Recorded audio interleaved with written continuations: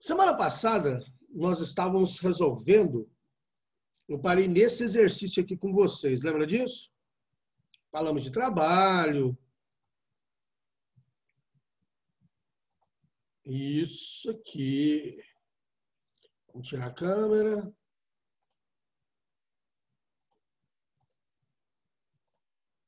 Bom dia, a galera do bate-papo mandando bom dia. Obrigado, galera. Bom dia, bom dia. Nós paramos desse exercício semana passada. Vamos resolver mais, mais alguns exercícios? Olha esse aqui, então. Sob uma pressão de 5 atm e temperatura 0 graus Celsius. Vamos lá, vamos anotar isso. A minha pressão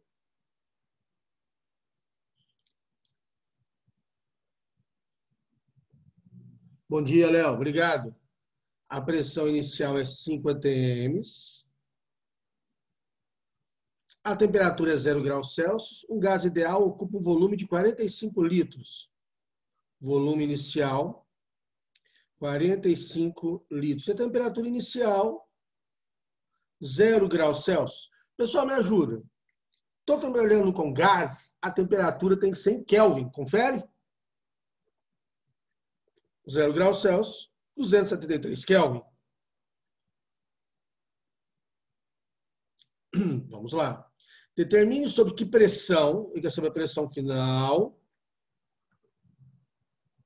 o gás ocupará um volume de 30 litros. Volume final 30 litros. Se for mantida constante a temperatura ah, então a transformação isotérmica, né? Isso aqui tudo está acontecendo a temperatura constante. Então vamos lá, o que quer dizer temperatura constante? Quer dizer isso aqui, ó. Pressão inicial, volume inicial, igual a pressão final, vezes volume final. A pressão inicial é 5 atm, Volume inicial é 45 litros. A pressão final eu quero saber.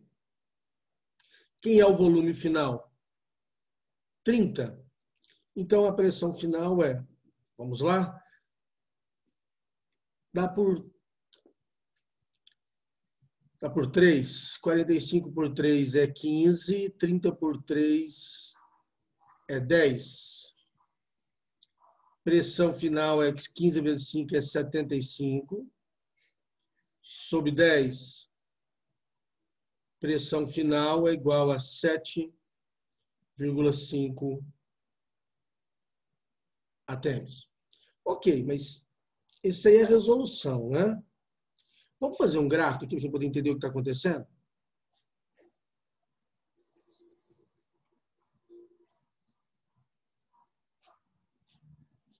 Aqui é o eixo da pressão. Aqui é o eixo do volume. E essa curva, ela tem um nome que nós chamaremos, que nós chamaremos todo mundo chama, né? De isoterma. Aqui eu tenho minha pressão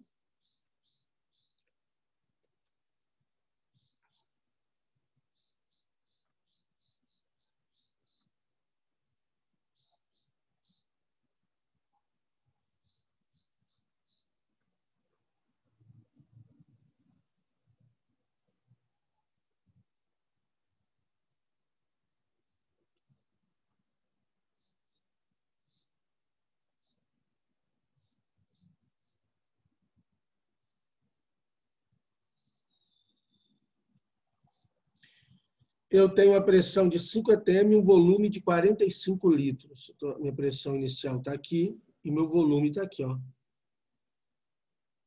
Minha pressão, meu volume cai para 30 e a pressão vai para 7,5. Olha o sentido disso aqui, ó. Ele está fazendo isso aqui, ó.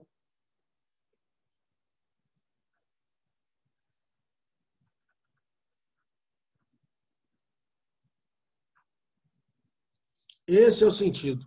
Você está vendo que isso aí é o que nós chamamos de uma compressão isotérmica. Conseguem perceber isso? Muitas vezes ele vira para a gente e fala assim: o gás sofreu uma compressão isotérmica. Ele está falando isso aí, o aumento da pressão isotermicamente. Isso aqui é chamado de uma compressão isotérmica.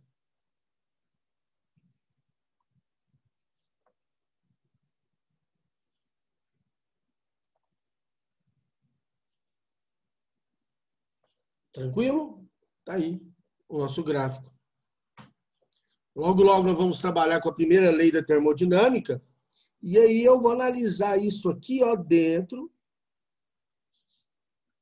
dessa equaçãozinha aqui, ó o que está acontecendo, como que eu calculo o trabalho, como eu calculo a quantidade de calor, porque vamos falar daqui a pouco de variação da energia interna, e nós vamos ver que a variação da energia interna nesse caso é zero. Eu estou trabalhando com uma isoterma, tá certo? Mas logo, logo a gente chega nisso aqui, e nós vamos discutir isso com mais propriedade. Essa aqui é rapidinha. Façam para mim e me falem o resultado, enquanto eu tiro os dados aqui.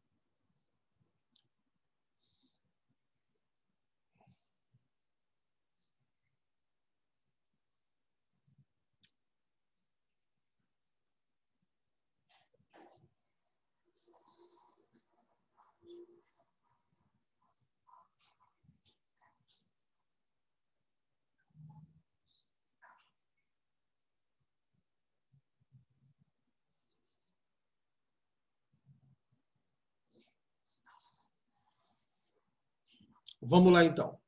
Calcule a variação de volume sofrido por um gás ideal, que ocupa inicialmente o volume de 10 litros a 127 graus Celsius, quando sua temperatura se eleva isobaricamente,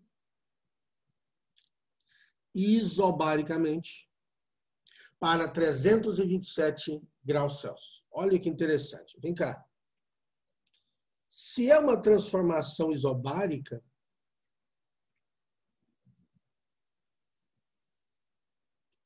se é uma transformação isobárica,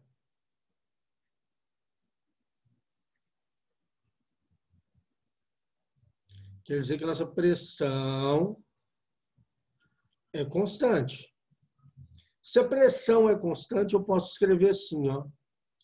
Volume inicial sobre temperatura inicial, volume final sobre temperatura final. Aqui eu escrevi aqui no canto para gente, estou apagando para escrever de novo aqui, ó. Vou escrever mais embaixo. Que temperatura em, cel, em Kelvin é temperatura em Celsius mais 273. Variação da temperatura em Kelvin é igual à variação da temperatura em Celsius. Vamos ver, Léo, se é essa a resposta. Então, vem cá, vem comigo. Volume inicial, 10 litros. Temperatura inicial, 400 Kelvin. De onde é que veio 400 Kelvin? Eu peguei 127 e somei com 273. Dá 400. Vamos encontrar volume final. Que temperatura final. O que é a temperatura final? 600. Então, quem é volume final? Você percebeu que aqui eu posso escrever 10 sobre 4 é igual a volume final sobre 6? Por quê? 400, 600, cancelo 100, correto? Então, aqui eu posso fazer é, por 2 dá 2, por 2 dá 3, por 2 dá 1, por 3 dá 5.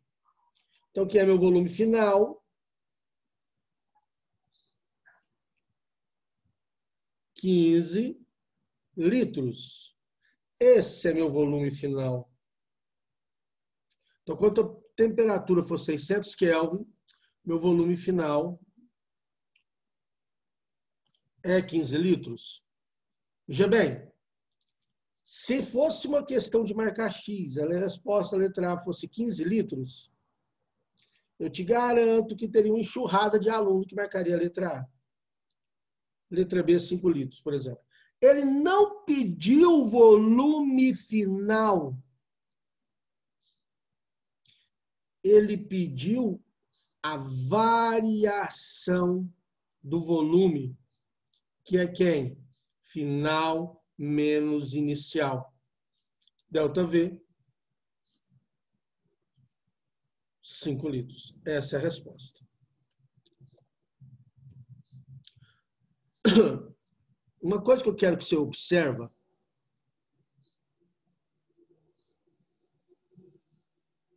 Isso aqui é chamado de uma expansão isobárica. O volume está aumentando isobaricamente. Olha só, uma coisa que eu quero que você observe é o seguinte. Você é um aluno de curso, um aluno já experiente, um aluno experimentado, um aluno, uma aluna que já resolveu um monte de exercício. Você é um aluno que ganha tempo. Você encontrou a temperatura inicial, que era 127 graus Celsius, que é 400 Kelvin, você não vai pegar 327 e somar com 273. Você não vai fazer isso. Você não sabe que a variação em Celsius é igual a variação em Kelvin? O que, eu falei? Variação em Celsius não é igual a variação em Kelvin. Está escrito aqui, ó. Se de 127 para 327 variou 200, em Kelvin também varia 200. Você quer 400? Para variar em 200 para cima, que só pode ser quanto? 600. Entendeu o que eu quis dizer? Beleza. Não pode errar um negócio desse, não. Alô? Opa, quem está tá falando comigo? Rafaela. Fala, Rafaela. Você pode repetir o que você falou agora? Posso. Você fala da variação de temperatura? É essa parte do 200. Uhum. Olha só. Pensa comigo aqui, Rafinha. Tem que trocar a pontinha da minha caneta? Acho que tem. Olha só. Variação de temperatura na escala Celsius é igual variação de temperatura na escala Kelvin. Concorda comigo? Em Celsius, ele está indo de 127 para 327. Essa variação de temperatura aqui é em quanto? 200? 3 menos 1, 2. Então, a minha temperatura em Kelvin, que está indo de 400 Kelvin Se a variação é a mesma, que número que eu tenho que colocar, que tem que ser aqui, para dar uma variação de 200? Aqui é Celsius. Aqui, ó. Entendeu o que eu falei, bebê? Entendi, obrigada. Por nada. Percebe que isso é rápido também? Percebo.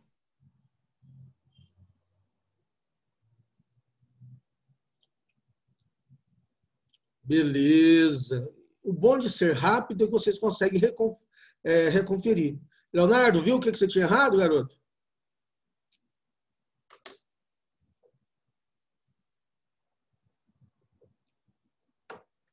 Vamos lá, então. Divirtam-se com essa questão para mim aqui, por favor.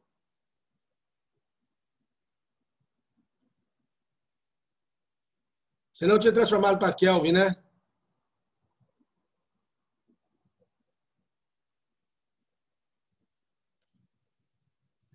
É isso aí. Mas uh, faça a questão 5, dou um minutinho, quem vai fazendo e já vão falando para minhas respostas.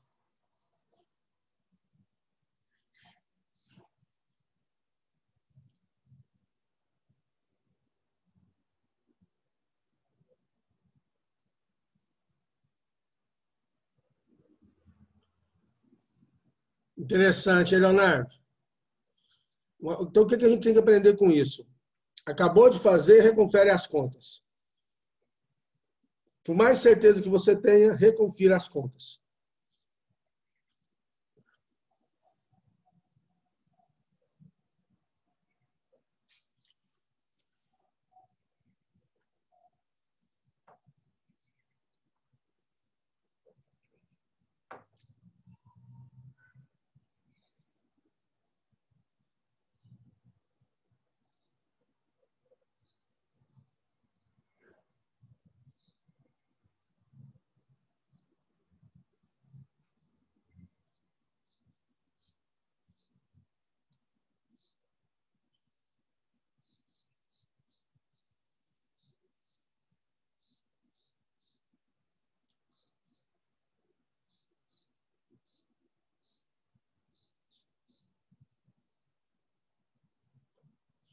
Alguém encontrou a resposta das, temperaturas?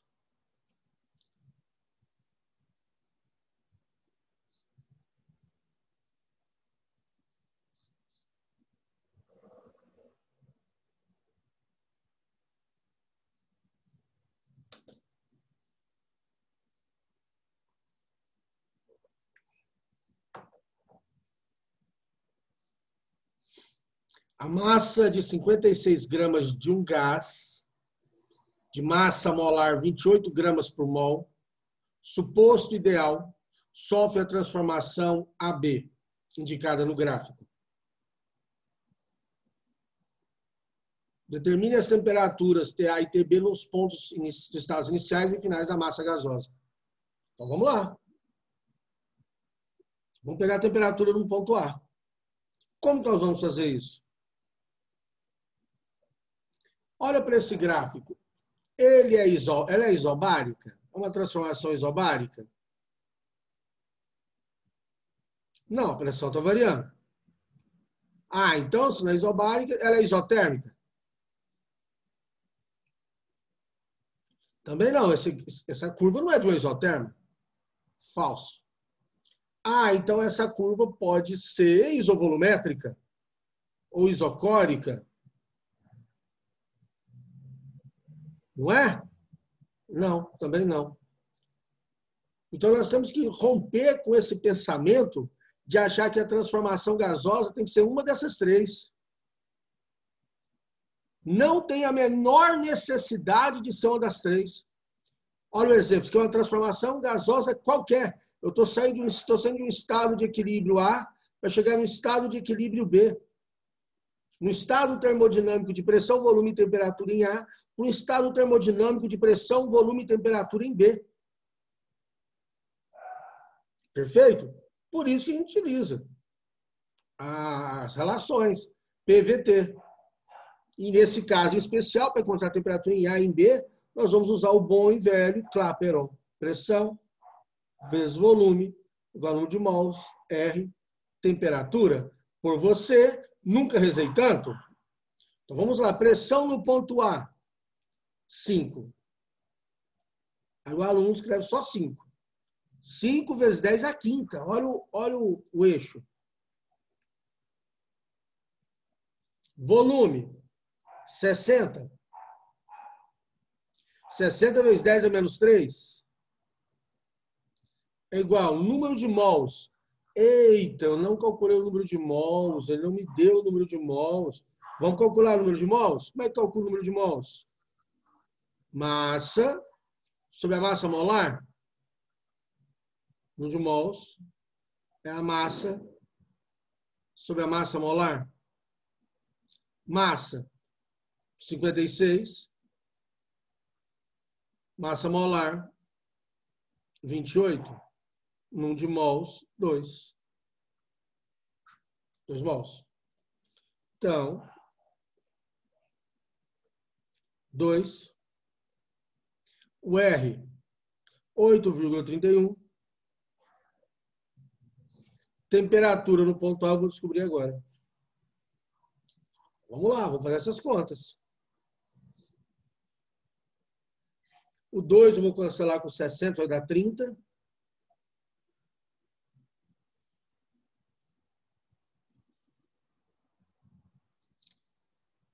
Então, TA está ficando 5 vezes 3, 150. Vezes 10 ao quadrado.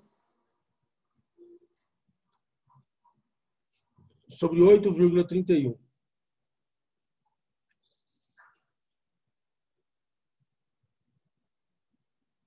Não, não daria, Rafaela. Porque pela lei geral dos gases perfeitos, eu tenho temperatura dos dois lados. Entendeu o que eu quis dizer? Se fizesse assim, ó, P0, V0, T0, PF, VF, TF. Você não consegue encontrar Tá vendo que aparecem as duas temperaturas? Tem que ser Clapeyron mesmo. Ok? Então, vamos lá, temperatura em A. Vamos brincar com essa continha aqui, para a gente ser feliz.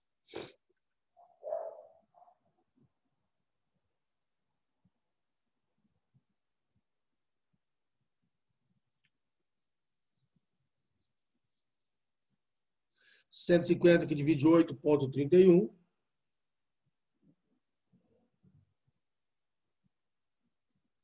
18,050 vezes 10 ao quadrado. Então, a temperatura em A, 1800, aproximadamente, 1805 Kelvin.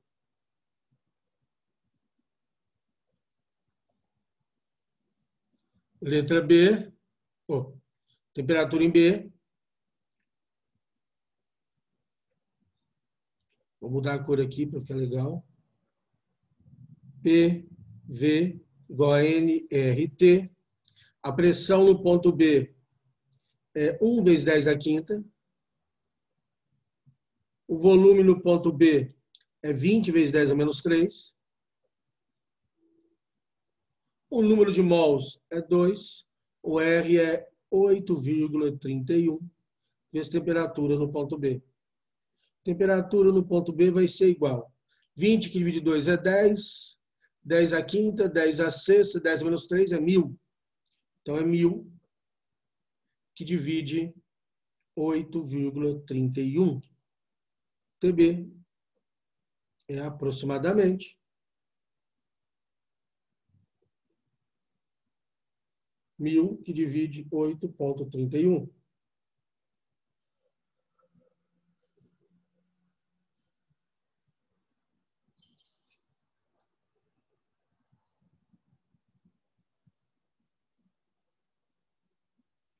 Cento e vinte vírgula trinta e três Kelvin.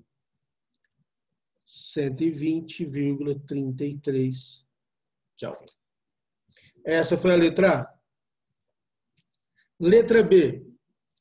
Calcule o trabalho realizado no processo AB. Então vamos lá, como é que nós vamos calcular esse trabalho?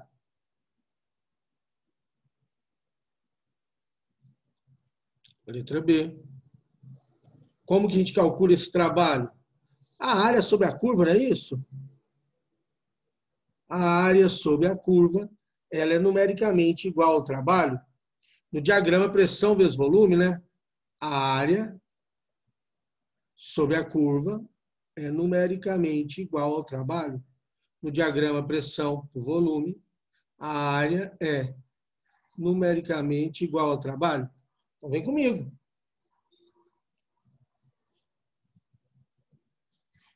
Vamos lá. A área é numericamente igual ao trabalho. Quem é essa minha área? área do trapézio. Base maior mais base menor vezes a altura sobre 2. Então, a nossa área vai ser. Quem é base maior? 5 vezes 10 a quinta. Base menor, 1 vezes 10 a quinta.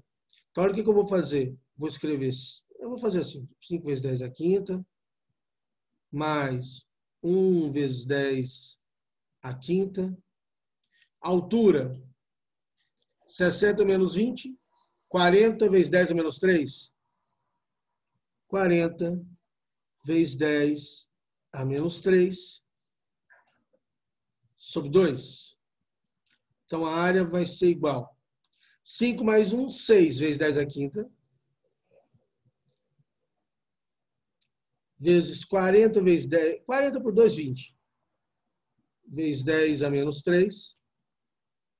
Nosso trabalho é igual 6 vezes 20, 120.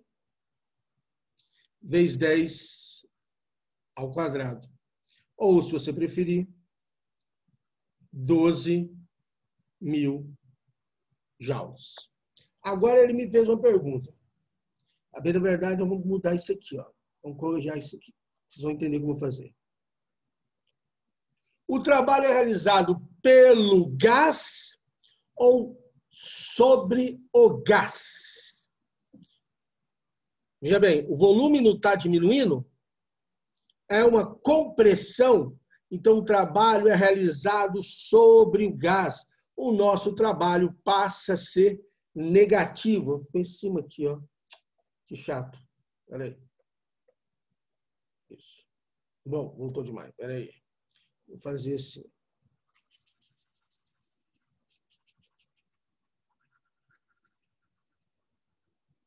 A área é igual a 120 vezes 10 ao quadrado então, o trabalho é igual a 1,2 vezes 10 a quarta. Fica igual a resposta. 1,2 vezes 10 a quarta joule. Só que esse trabalho ele vai ser negativo. Por que, que ele é negativo? Porque o que está acontecendo aqui é uma compressão. Uma compressão então, meu trabalho é negativo, é realizado sobre o gás. Compressão. Alguém mandou umas perguntas aqui, deixa eu ver o que é. Isso, muito bem, muito bem. Exatamente.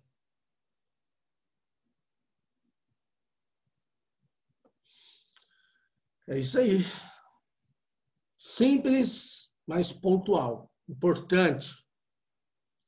Teve uma época, quando nós tínhamos vestibular na Universidade Federal de Goiás, era muito comum nas provas de canetão ter uma questão envolvendo um gráfico desse, e ele perguntar o trabalho, perguntar se era motor ou resistente.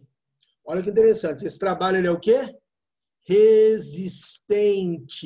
É um trabalho negativo. Beleza? Perfeito?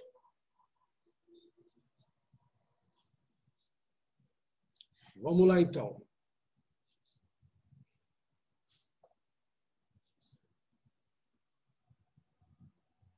Olha só, chegamos a um ponto muito interessante da nossa matéria, que é onde a gente trabalha com energia cinética e energia interna de um gás ideal.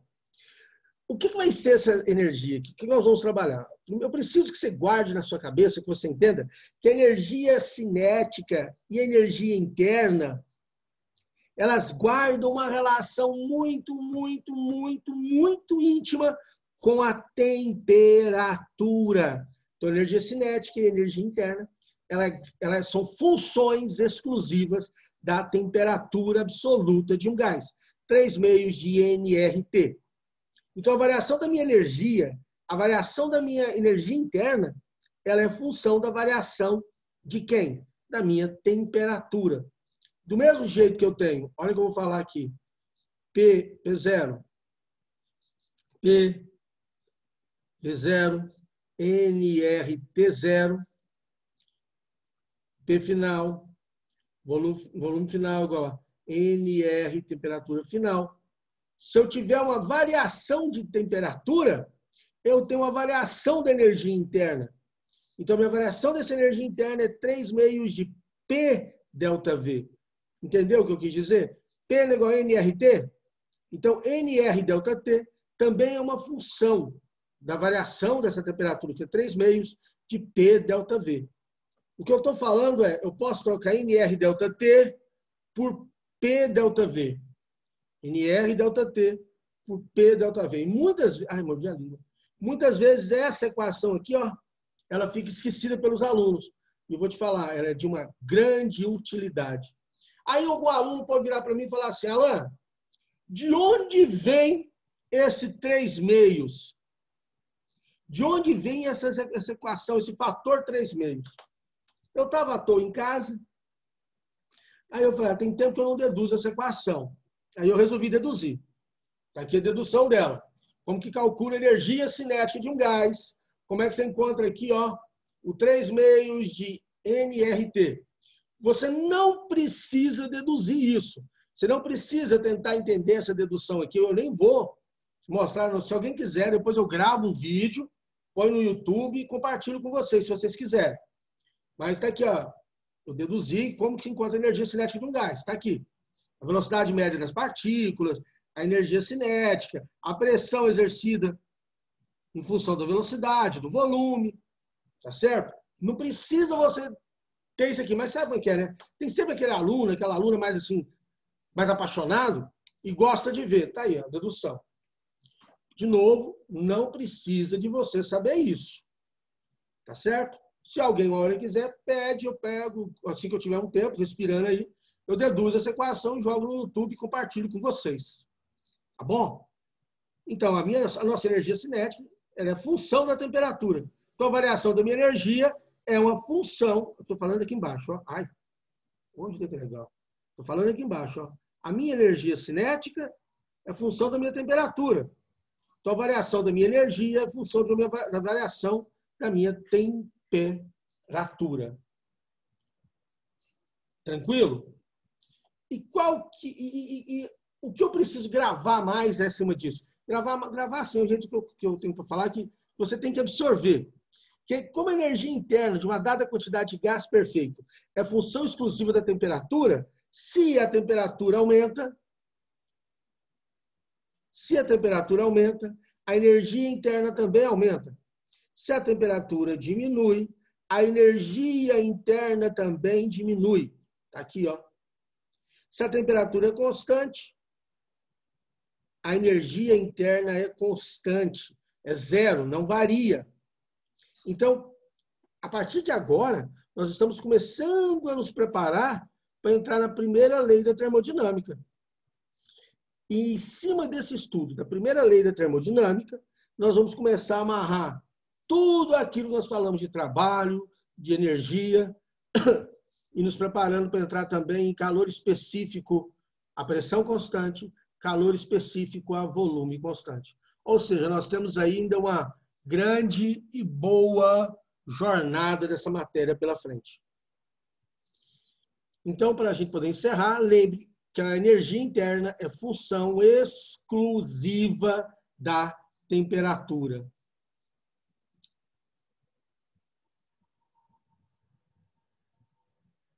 Leonardo, aquela equação você pode utilizar ela em uma transformação isobárica. Poderia. Mas eu já vi exercício utilizando ela, porque dimensionalmente, aquela equação aceita variação de pressão também. Eu já vi gente utilizando ela com variação de pressão. Entendeu o que eu quis dizer? Aqui, ó. Está me perguntando aqui dessa equação. É, Léo? Dessa aqui, ó. Eu já vi gente utilizando uma variação dela. Delta P vezes V. Legal, né? Porque se você parar para pensar, a dimensão das equações não muda. Massa. Eu já fiz um exercício uma vez que envolvia isso. Vou ver se encontro ele e compartilho com vocês. Já me pediram para montar uma lista de, de gases e termodinâmica. Logo, logo chegou uma listinha punk aí para vocês se divertirem. Tranquilo? Galera, falta aí menos de dois minutos para o término da minha aula. Deixa eu fazer aqui. Não vou falar de energia interna faltando dois minutos. Amanhã eu volto com vocês, amanhã é minha aula normal, né? Amanhã eu entro em energia interna e a gente faz mais exercícios dessa matéria. Tá certo? Vamos ver o que, que sai para nós em minutos de sabedoria? Como eu, agora que eu vim aqui, Léo, como é que eu faço para chegar nela? Ah, tá. É aquela dedução que eu falei, que está naquele slide. Que eu não, não deduzo para os alunos, porque eu sei que é um tanto chata a dedução assim, para o aluno, né? O aluno fica assim, chocado, literalmente, quando vê aquela dedução. Mas é um bom exercício mental.